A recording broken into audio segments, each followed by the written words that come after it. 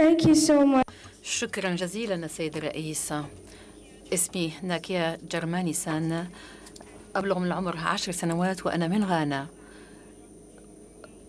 وأنا في محفل الدول المستضعفة أمام تغيرات المناخ. أنا سعيدة بوجودي وإياكم للحديث باسم 1.5 مليار شخص. أولئك الذين يعيشون في 58 دولة من مجموعة سي في إف.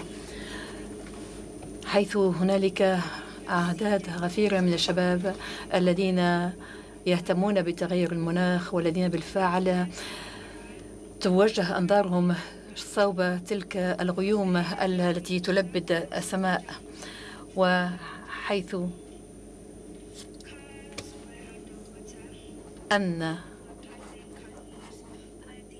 هو حدثت فيضانات وحيثما بالفعل اضطررنا لفرار بيوتنا على متن قوارب داخل المدن وكان الأمر بالفعل مثيرا للهلع. وإن تفاقمت الأمور نخشى ما نخشاه أن مستقبلنا على المحك. حذرت اليوم. وحضرت منذ البداية وتابعت فعاليات المؤتمر وتحدث والعديد منكم وأنتم جميعا بالفعل كنتم لطفاء جدا وإياي. وأطلقنا حملة ضرورة الدفع الذي قد طال انتظاره. أنا على يقين بأنكم تعلمون ما هي هذه الحملة. أنتم أذكياء لأن بعض المجتمعات المحلية في بلد غانا تتحمل وزر ما يحدث تدفع ثمن باهظا لما يحدث جراء الحرائق التي أشعلها البعض. وهنا السؤال البسيط المطروح. متى يمكنكم أن تسددوا الثمن؟ لأن سداد الثمن قد طال انتظاره. التقيت وسيد جون كيري. زار جناحنا. في مستهل الأسبوع الماضي كان لطيفا جدا وتحدث وإيانا وأعتقد أن نسيا والبالغة من العمر من ثمان سنوات وأنا على يقين أنه لديه إذا أحفاد. نعم أنا كذلك أبلغ عشر سنوات وعندما سأصل إلى عمره إن شاء الله سنكون قد شرفنا على نهاية هذا القرن. وحينئذ ملايين الأشخاص لا سيما من المسنين قد يقضون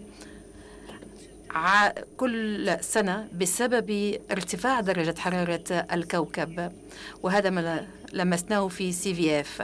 فمصير المستضعفين سيكون هو مصير العالم برمته.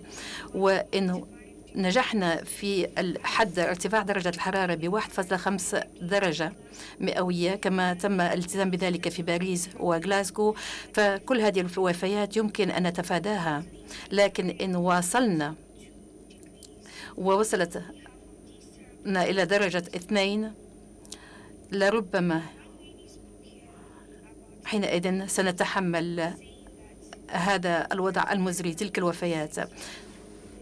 قيل بأنه أمامنا 86 شهر قبل أن نصل إلى درجة 1.5 وعليه رجاء أناشدكم لتقوموا بعملية حسابية بسيطة. الوضع طارئ وملح. لو كنتم شباب وأطفال مثلي هل كنتم بالفعل ستدركون بأنه ينبغي أن نتدخل وأن نضع حدا لما يحدث. فأنا أرجوكم تأمل ما يحدث وت... وتفكير في الأطفال وفي الأحفاد. وينبغي أن تتذكروا أنفسكم وأنتم في مرحلة الطفولة.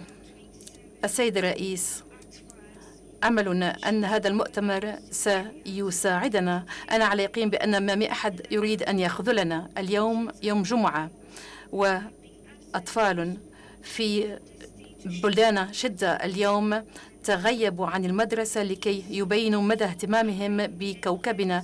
رجاء رجاء اسمعوا صوتنا وطلبنا. ينبغي أن تنجزوا المزيد وتحققوا المزيد.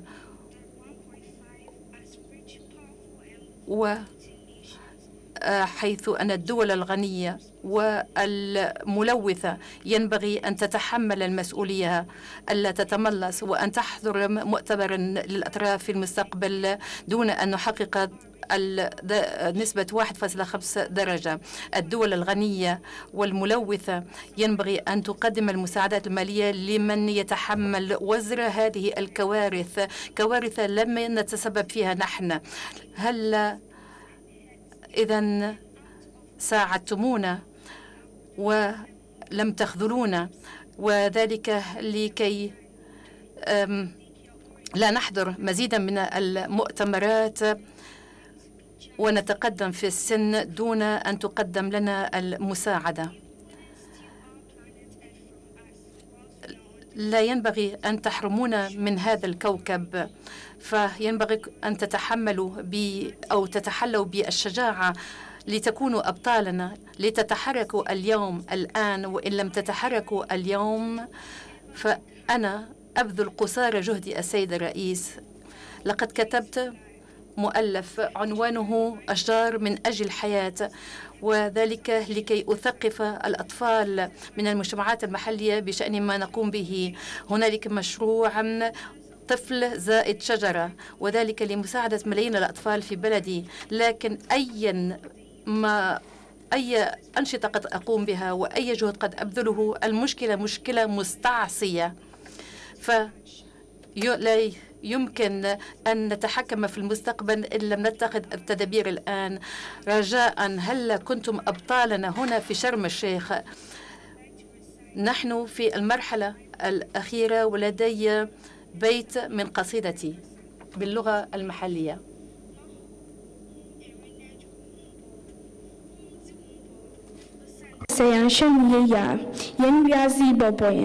All I mean is ما أعني متحمل الواجبات. رجاء هل إذا أمسكتم بزمام الأمور وتحملتم مسؤولياتكم؟ شكرا على حسن الإصغاء.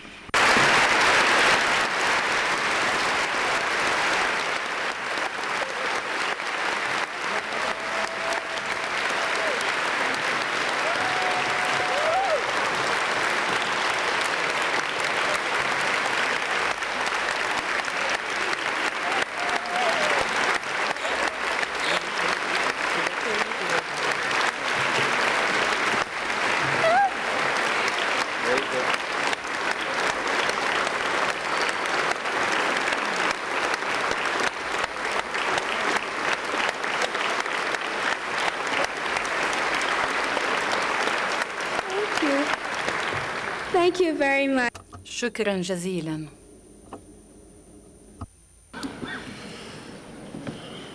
I want to أود أن أشكر غانا على هذا النداء المفعم بالمشاعر ولا يسعني إلا فهم هذا الحماس ك مؤشر عن مزيد من التفاني وكمؤشر عن رغبة التحقيق والإنجاز إنجاز ما طلب منا وذلك من خلال صوت مواطني العالم من خلال صوت الأجيال أجيال الشباب والتي بالفعل ستسائلنا. أشكر غانا وأشكر كل أولئك الذين أعربوا عن دعمهم لي. ما قد نقل لنا الآن. شكرا الكلمة للنرويج. شكرا جزيلا سيد الرئيس. وأعتقد أننا جميعنا بالفعل قد تأثرنا جراء هذه الرسالة القوية التي جاءت على لسان شقيقتنا الفتية من غانا. رسالتها قدمت باسم كل أطفال وشباب العالم. وأنا فهمت هذه الرسالة على النحو الآتي. أولا لابد وأن نحقق مبدأ الخسائر والأضرار انطلاقا من هذا المؤتمر وأنا ألمس تقدما ملموسا من خلال سد أي ثغرات في فهم هذا المبدأ. وهذا ما قد سيتحقق خلال يومنا هذا ومساء اليوم. وثانيا رسالة قوية مفادها أنه ينبغي أن نبقي الاحترار دون 1.5 درجة. وهذا ما كنا قد التزمنا به في غلاسكو لا يمكن أن نغادر شرم الشيخ بنتيجة دون ذلك. لابد أن نعيد التأكيد على التزامنا وينبغي كذلك أن نقدم برنامجا بينا وقرارات واضحة لتحقيق هذا الهدف. 1.5 درجة. هل ليس مجرد رقم قد تم إذا اختراعه بل هو يستند إلى العلم؟ ففي باريس فهمنا الوجه الاختلاف الكبير بين الاحترار وصولا إلى 1.5 وكذلك احترار وصولا إلى 2 درجة. وحيث أن هنالك دول ستختفي من وجه الأرض إن استمر هذا الاحترار. وهنالك مدن كذلك ستختفي. بالفعل هذا إن تحققت هذه الكارثة. هذا إن لم نلتزم بما قطعناه على قطعناه على أنفسنا في غلاسكو. ولابد وأن ندرك بأنه لدينا القوة والسلطة. لكن ليس السلطة لكي نغير قانون الفيزياء فقانون الفيزياء موجود. ونحن نستمع إلى العلماء الذين يقولون بأنه إن تجاوزنا النسبة التي اتفقنا عليها فنحن مآلنا الكارثة. ولذلك لابد وأن ننقل رسالة متينة وبرنامج متين وقوي بشأن الخسائر والأضرار واعتماد الصندوق المقترح إنشاؤه. ولابد كذلك وأن نحقق ما ذكرته الشقيقة من غانا وكذلك ملايين الأطفال أن نترك لهم كوكب قابل للحياة. وهذا يعني أننا لابد وأن نعتمد تدابير حاسمة وذلك لإزالة الكربون. هذا بالطبع يقتضي جهودا مضنية من لدن الجميع. فتلك الدول التي لديها موارد كبرى لابد وأن تنجز أكثر لكن ما من أحد يمكن أن يعفى من هذه المهمة التي أشارت إليها أختنا من غانا. شكرا للنرويج.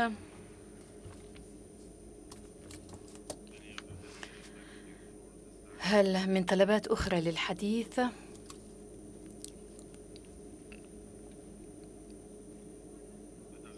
لا يبدو أن الأمر كذلك وعليه هذا سيتيح لنا فرصة لكي نعزز المشاورات وصولا إلى الوثائق الضرورية التي ستسمح لنا بالمضي قدما إذا شكري لكل من حضر وأناشد الجميع العمل على قدم وساق خلال الساعات المتبقية لكي ما نحقق مأربنا المشترك. شكرا رفعت الجلسة.